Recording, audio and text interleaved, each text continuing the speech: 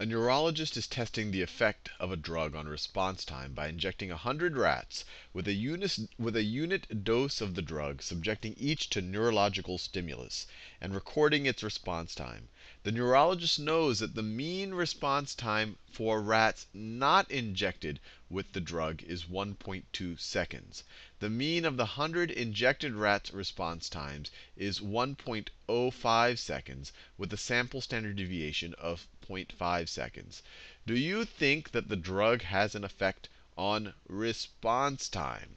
So to do this, we're going to set up two hypotheses. We're going to say one the first hypothesis is we're going to call it the null hypothesis, and that is that the drug has no effect on response time. And your null hypothesis is always going to be, you can view it as the status quo. You assume that whatever you're uh, researching has no effect. So drug has no effect drug has no effect. Or another way to think about it is that the, uh, the, the mean of, of the rats taking the drug should be the mean, mean with the drug, with, let me write it this way, with the mean is still going to be is still going to be 1.2 seconds even with the drug, even with the drug. So that's essentially saying it has no effect, because we know that if you don't give the drug, the mean response time is 1.2 seconds. Now, what you want is an alternative hypothesis. The hypothesis is, no, I think the drug actually does do something. So the alternative hypothesis, the, alter, the alternative hypothesis right over here is that the drug, the drug has, has an effect. Or another way to think about it is that the mean the mean does not equal 1.2 seconds when the drug drug is given. So how do we think about this? How do we know whether we should accept whether we should accept the alternative hypothesis or whether we should just default to the null hypothesis because the data isn't convincing. And the way we're going to do it in this video, and this is really the way it's done in pretty much all of science, is you say, okay, let's assume that the null hypothesis is true. If the null hypothesis was true, what, was the what is the probability that we would have gotten these results with the sample? And if that probability is really, really small, then the null hypothesis probably isn't true. We could probably reject the null hypothesis and we'll say, well, we kind of believe in the alternative hypothesis. So let's think about that. Let's assume, let's assume, let's assume that the null hypothesis is true. And so if we, if we assume the null hypothesis is true, let's try to figure out the probability that we would have actually gotten this result, that we would have actually gotten a, a sample mean of 1.05 seconds with a standard deviation of 0.5 seconds. So I want to I want to see if we assume the null hypothesis is true, I want to figure out I want to figure out the probability. And actually, what we're going to do is not just figure out the probability of this, the probability of getting something like this or even more extreme than this. So how, how likely of an event is that? And to think about that, let's just think about the sampling distribution if we assume, if we assume the null hypothesis. So the sampling distribution is like this. It'll be a normally it'll be a normal distribution. We have a good number of samples. We have 100 samples here. So this is the sampling distribution. It will have a mean. And now, if we assume the null hypothesis that the drug has no effect, the mean of our sampling distribution, the mean of our sampling distribution will be the same thing as the mean of the population distribution, which would be equal to 1.2 seconds. Now, what is the standard deviation of our sampling distribution? The standard deviation of our sampling distribution should be equal to the standard deviation of the population distribution divided by the square root of our sample size, so divided by the square root of 100. We do not know what the standard deviation of the entire population is. So what we're going to do is estimate it with our sample standard deviation. And that's a reasonable thing to do, especially because we have a nice sample size, a sample size greater than 100.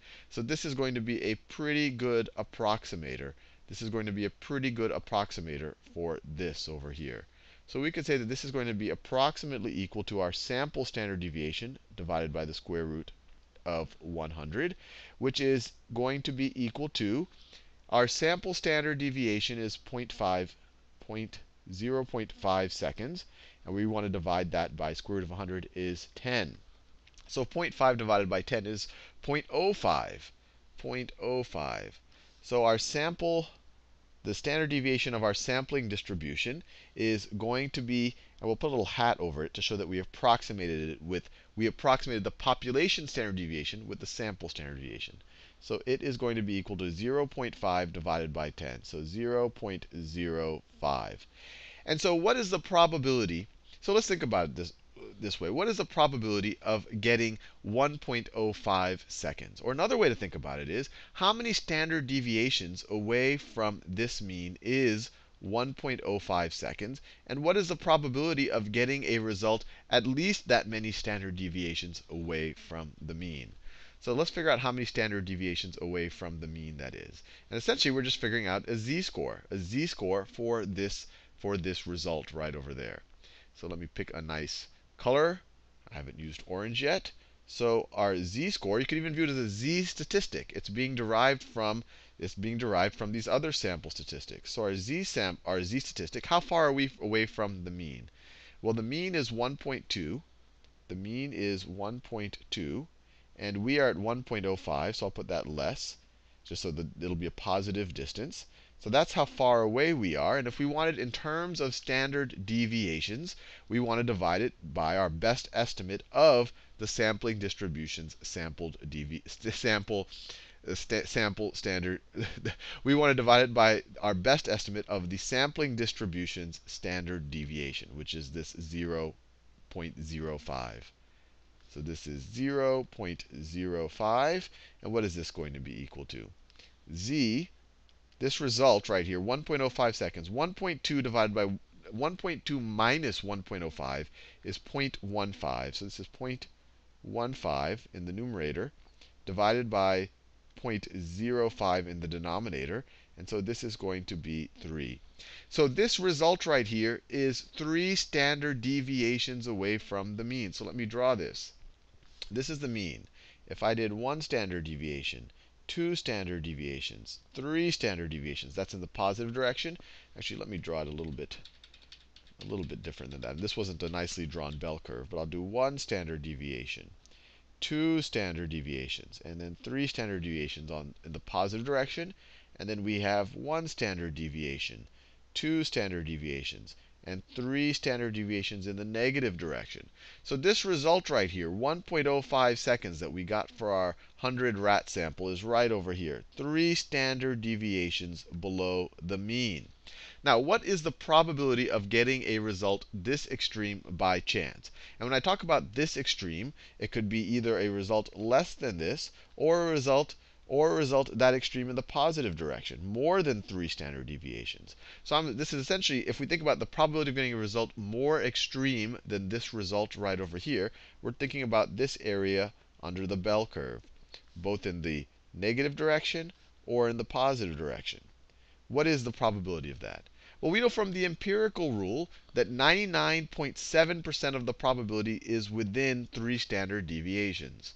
So this thing right here, you can look it up on a z-table as well, but three standard deviations is a nice clean is a nice clean number that doesn't hurt to remember. So we know that this area right here, I'm doing in this reddish orange, that area right over there is 99, 99.7%.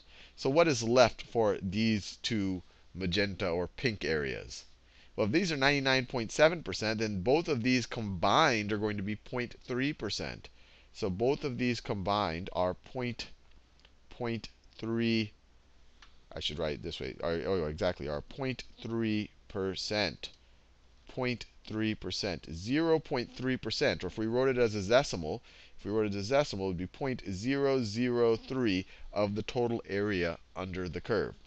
So to answer our question, if we, if we assume that the drug has no effect, the probability of getting a sample this extreme, or actually more extreme than this, is only 0.3%. 0.3%, one in less than 1 in 300.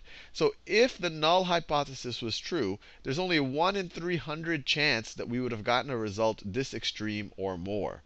So at least from my point of view, this result seems to favor the alternative hypothesis. I'm going to reject. I am going to reject.